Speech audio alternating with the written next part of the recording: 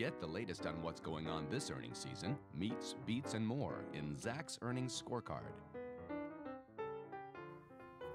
Well, if you're keeping score during any earnings season, the financial sector is one place that you surely want to be in touch with. And Eric Dutram, who is our editor of Zacks Surprise Trader, is in fact in touch with some financial stocks that you're going to profile for us now. This week of April the 25th, we have uh, Chicago Board Options Exchange reporting. That's right. We got a couple exchanges that are reporting uh, over the next couple days. Um, this is kind of the, the trend in the financial world. We had the, some of the big banks last couple weeks. Now it's the exchanges' turn. Top 15% industry rank here, so expectations are going to be a bit high.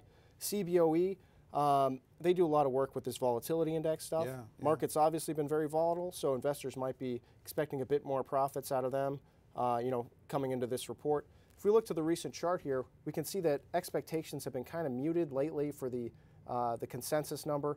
We can see a, kind of a, a, strange trend here for uh, some of the recent consensus numbers. Uh, things dipped down a bit and then they came back uh, a bit higher. But the, the most recent trend has been slightly negative for uh, CBOE. This is a little bit of a concern for investors, but shares have held up rather nicely here in that low 60 range. So an, an okay performer going into the earnings report. Not much to worry about though. Earnings ESP of zero, so at least the uh, all the most recent estimates they've been uh, a bit time ago, and it's a Zacks rank number three. So not not a whole lot of catalysts on the upside or the downside. It's really going to be a question of volatility and if that you know really reigns in the marketplace going into the summer. That's really going to benefit CBOE. All right. What about uh, CME Group? So CME is a, another exchange here based in Chicago as well, actually right across the river from us. Yep. But um, their a thing to watch for the, these guys is their um, their interest rate uh, options and uh, the futures, and also their energy futures. And these are two areas of the market that have been very volatile, and it you know promotes a lot more trading activity. Both these things are great news for CME. Uh, the company is a kind of a star when it comes to beating an earnings season. We can see their last five or six reports here have all been positive. The stock has been pretty choppy here. We can see some of these, these moves up and down.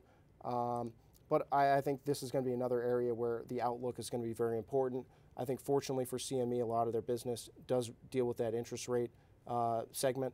And if we do see some more action out of the Fed, either you know to raise rates or even possibly lower rates, that's going to be great news. It's going to uh, create more trading opportunities for CME, and that's really where they make a lot of their money. So uh, this current quarter might not be anything spectacular, but I think the longer term outlook for CME is very positive. I do own it in my IRA portfolio. Um, we are looking at a uh, earnings of $1.15 a share for CME when they report on Thursday. Zacks rank number 3 mm-hmm. so I think it's really more of a longer term play in this company as well. Thursday is April the 28th, by the way. Uh, then finally, NASDAQ. Yeah, NASDAQ is you know more on the, uh, the stock side. Uh, the shares have been kind of mixed here at least when you look further back, uh, we can see that the, the consensus numbers were really sliding here the last couple of years. But you know we've seen you know a much better trend in the last year and a half or so. We can see that the uh, the consensus estimates have been rising a bit.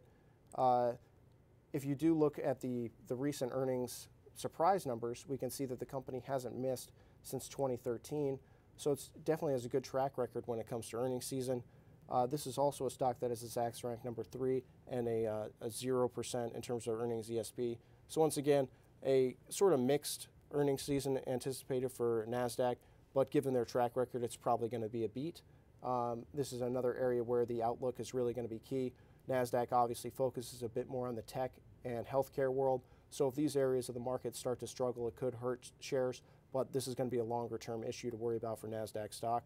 So uh, you know, it's really a question of what type of investment investors want in this in this space. It does have a nice industry rank, so we are anticipating some solid results for companies across the board here. All right, don't forget you can get the lowdown on other companies reporting during this earnings season on Zacks.com. That's our website. So if you're not there, get on over to the homepage, and there's where you start to link to it all. With Eric, I'm Terry Ruffalo.